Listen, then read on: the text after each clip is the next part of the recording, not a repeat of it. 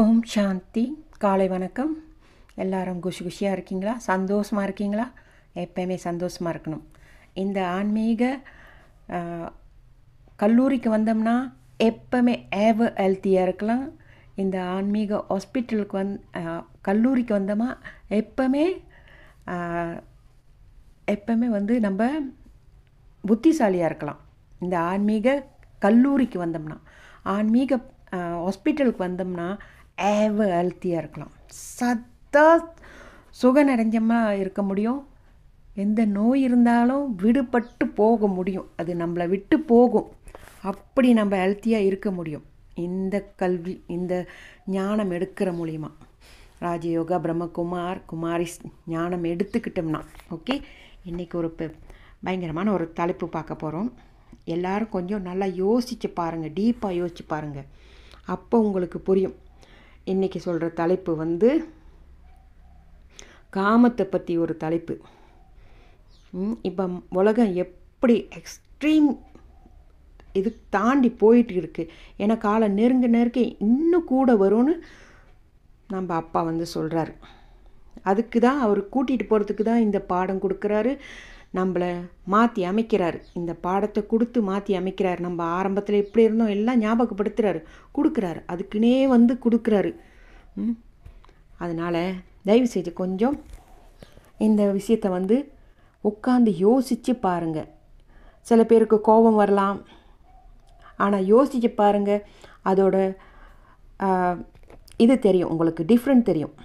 உடலில் உடல் உணர்வில் இருந்தோம்னா என்ன மாரி நம்ம இருக்கிறோம்? ஆத்ம உணர்வில் இருக்கும்போது நம்ம என்னவா இருக்கிறோன்றது இன்றைக்கி நான் கொடுக்குற டாப்பிக்கில் நீங்கள் உட்காந்து யோசித்து பாருங்கள் அப்புறம் நீங்கள் முடிவெடுங்க. ஓகே? இன்றைக்கி டாபிக் என்னன்னா காமம். காமம் வந்து எப்படி ஒரு மனுஷனை சீரழிக்குதுன்னு ஒரு உதாரணம் சொல்கிறேன் இப்போ இந்த அபிராமின்னு ஒரு யூடியூப்பில் நான் யூடியூப்பில் இந்த இதெல்லாம் பார்க்குறதில்ல ஆனால் ரெண்டு நாளைக்கு முன்னே பார்த்தேன். அப்போ எனக்கு தோணுச்சு இது கண்டிப்பாக சொல்லி ஆகணும். ஏன்னா மனிதர்கள் வந்து இப்போ மக்கள் உணர்றதில்ல. இந்த க- இந்த விகாரங்கள் நம்மளை எப்படி ஆட்டி படைக்கிறதுன்னு யாருமே உணர்ந்து பார்க்க மாட்றாங்க. இந்த அபிராணின்ற வந்து ஆத்மா வந்து அந்த ம சிஸ்டர் வந்து என்ன செஞ்சுருக்காங்கன்னா ரெண்டு குழந்தைய தான் பெற பெத்த குழந்தைய கொன்னுட்டாங்கன்னு எல்லாரும் சொல்கிறீங்க வித விதமாக கதை சொல்கிறாங்க ஆனால் நான் அதெல்லாம் பார்க்கல. யார் என்ன சொல்கிறா அதெல்லாம் நான் பார்க்க கிடையாது. ஒரே ஒரு இது பார்த்தேன். இந்தமாரி தெரிஞ்சிச்சு. ரெண்டு குழந்தைய கொண்டுட்டாங்க அது என்னத்துக்கு கா என்ன காரணம்? காமம். நல்லா யோசிச்சு பாருங்கள் அந்த காமம்ன்ற இது வந்து என்ன ஒரு இதுக்கு கொண்டு போயிருக்கு? தான் பெற்ற குழந்தைகளே இற இறக் இருக்காங்க ஏன்? உடல் உடல்னால தான். உடல் உணர்வு இருந்தனால தான் அந்த எக்ஸ்ட்ரீம் இதுக்கு போயிருக்காங்க. சொந்த குழந்தைய மறந்து போச்சு. அந்த அந்த உடல் உணர்வு இருந்தனால சொந்த குழந்தைன்றது மறந்து போச்சு. அந்த அளவுக்கு அந்த காமம் அப்படி தூண்டியிருக்கு அந்த ஆத்மாவை. சும்மா இல்லை. இந்த காமன்றது கெட்ட சுகரு. இந்த காமம் மட்டும் இல்லை. ஐந்து விகாரங்களும் கெட்ட இது. நம்மளை எப்படி ஆட்டி படைக்கோன்றது உட்காந்து நம்ம யோசித்து பார்க்கும் போது தான் அதோட விளைவு தெரியும். இப்படி அந்த ஆத்மா செய்துனா அவங்க உடல் இருந்தனால தான் உடல் உணர்வில் இருந்தனால தான். அது மட்டும் இல்லாமல் இன்னொன்றும் இருக்குது இதில். இன்னொரு ரகசியமும் இருக்குது இதே இந்த ரெண்டு குழந்தைங்களும் ஏதோ ஒரு பிறப்பில் இந்த ஆத்மாவுக்கு இந்த அபிராணின்ற ஆத்மாவுக்கு ஏதோ ஒரு பிறப்பில் இதேமாரி ஒரு துன்பம் கொடுத்துருப்பாங்க. அதனால தான் அது ரிட்டர்ன் வந்திருக்கு. இதுதான் உண்மை. ஆனால் எல்லாரும் விதவிதமாக பேசுகிறீங்க ஆனால் அதோட உண்மை கருத்து என்னான்னு இந்த பாடம் எடுத்தவங்களுக்கு தெரியும்.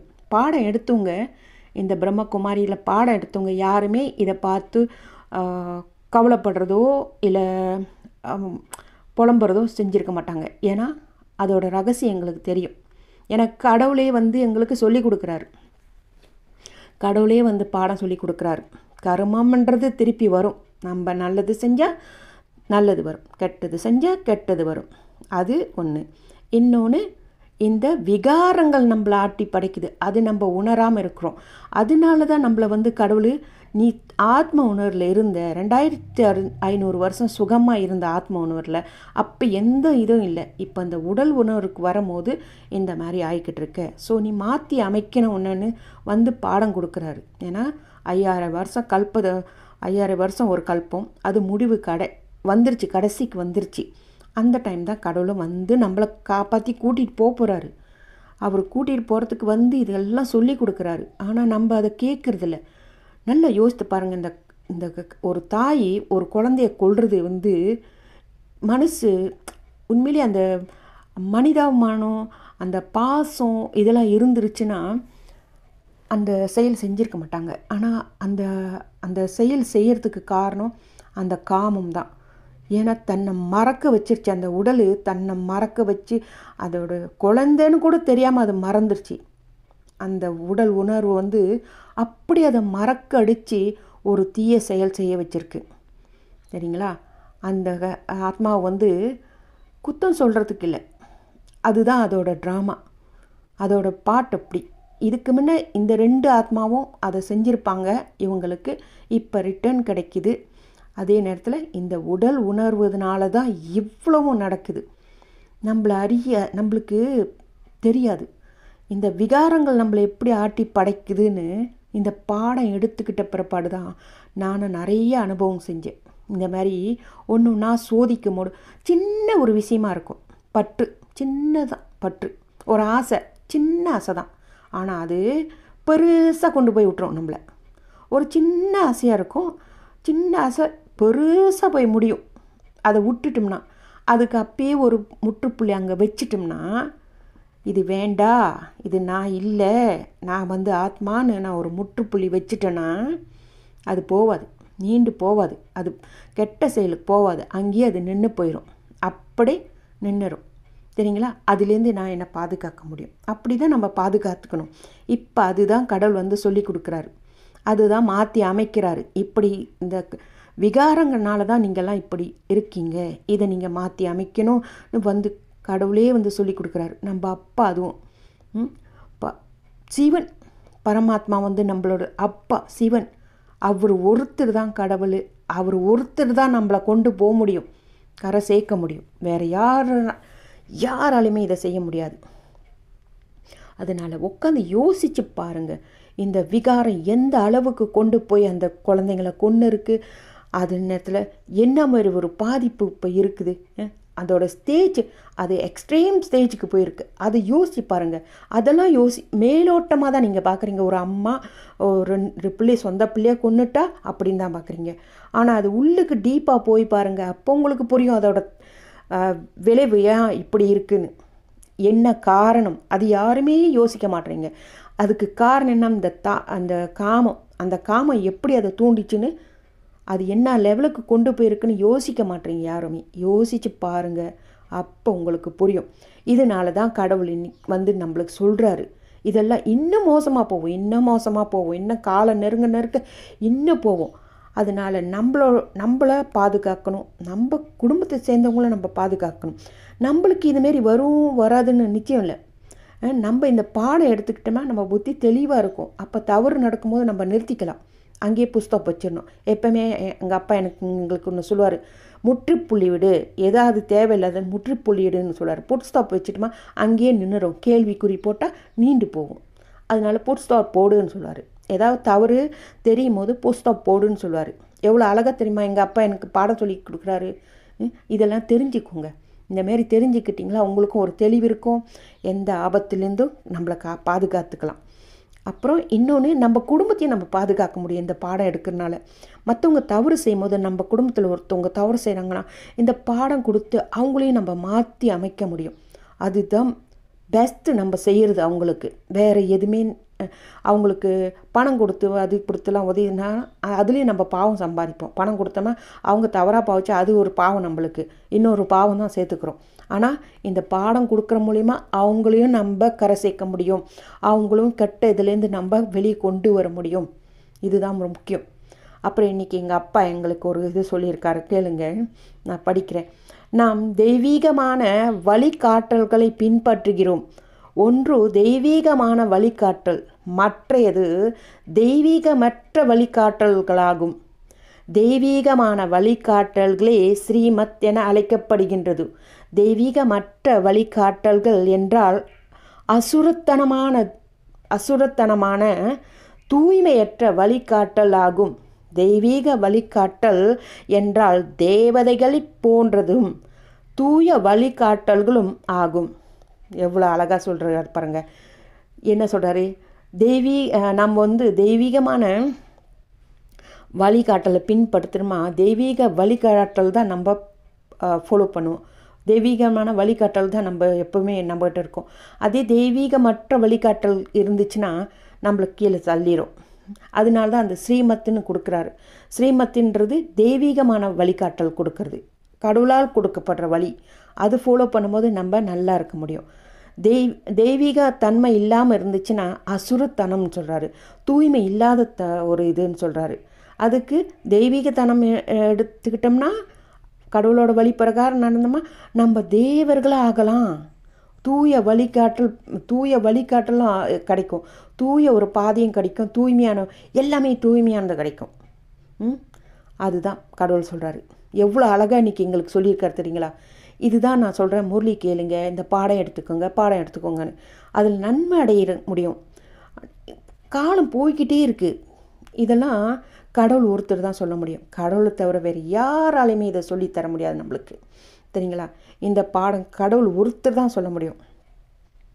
அப்புறம் இன்னொரு ஒரு இது சொல்கிறாரு அப்புறம் பாபா சொல் அவர்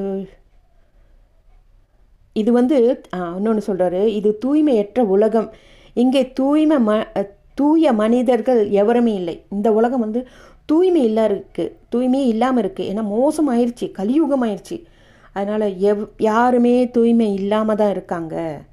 ஒரே ஒரு தூய்மை ஆக்குபவரான தந்தை உங்களுக்கு தூய வழிகாட்டல்களை கொடுக்கின்றார்.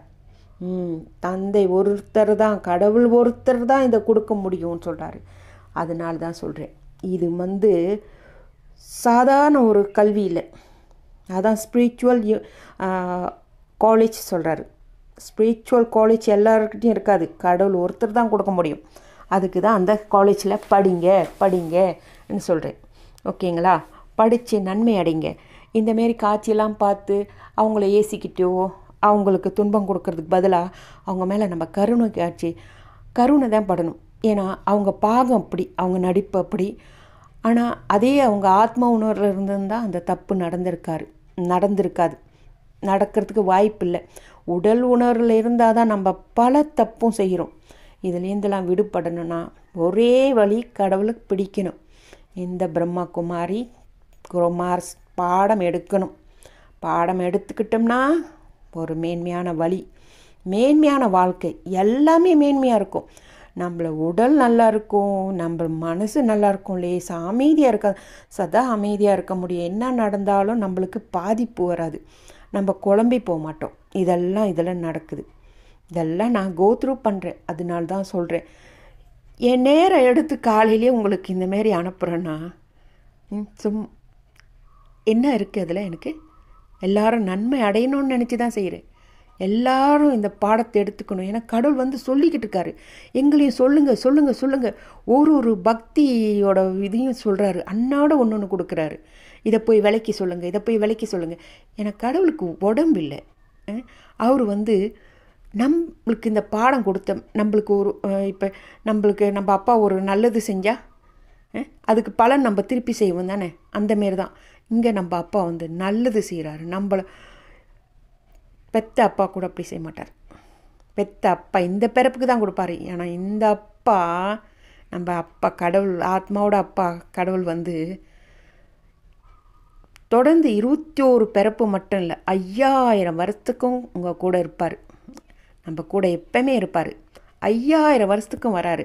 நம்ம கஷ்டத்து துவாபரம் யுகம் வரும்போது கூட நம்ம கஷ்டத்தில் கூட அவர் தான் நம்மளுக்கு உதவி செய்கிறாரு அந்த டைம் நம்ம பக்தி செய்கிறோம் அந்த டைம்லேயும் அவர் தான் நம்மளுக்கு கூட இருந்து உதவி செய்கிறாரு எப்படி இப்போ இந்த பாடம் எடுக்கணும். கலியுக கடைசியில் கடவுளாக பூமிக்கு வந்து சொல்கிற நேரத்தில் நம்ம இந்த பாடம் எடுத்துக்கிட்டோம்னா அதனால நம்மளுக்கு எத்தனை பிறப்பாக இருந்தாலும் கூடையே இருந்து உதவி செய்வார். இது வேண்டாவா உங்களுக்கு? என்ன கஷ்டப்பட போகிறீங்களா ம்? இதை புரிஞ்சுக்கோங்க. சரியாக புரிஞ்சுக்கோங்க. சொல்கிறாங்க சொல்கிறாங்க அலட்சியமாக இருக்காதீங்க. தயவு செய்து எடுத்துக்கோங்க. எடுத்துட்டு பாருங்கள் டிஃப்ரெண்டாக பாருங்கள் உங்களுக்குள்ளே உள்ள மாற்றத்தை மொத பாருங்கள் அப்புறம் மற்றவங்களுக்கு யோசிங்க. மொத உங்களை பாருங்கள் மொத.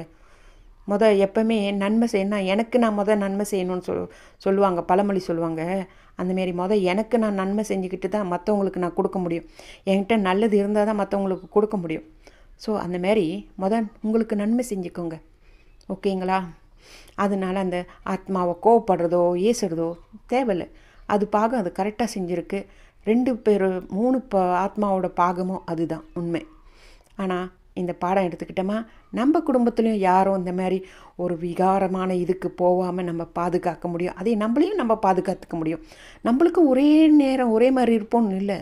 மாறுறதுக்கு வாய்ப்பு இருக்குது இந்த பாடம் இருந்தால் நம்மளுக்கு தெளிவு இருக்குது ஸோ பாடம் எடுத்துக்கோங்க. Okay Om Shanti. Thank you Baba. Thank you